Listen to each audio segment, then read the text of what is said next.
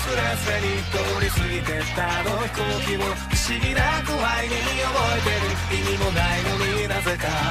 不甲斐なくて泣いた日の夜にただ強くなりたいと願ってた。そのために必要な勇気を探し求めていた。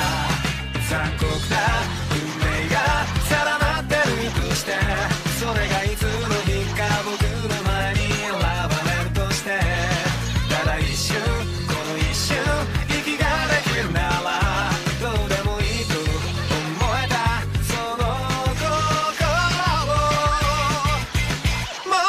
遠くへ行け遠くへ行けど僕の中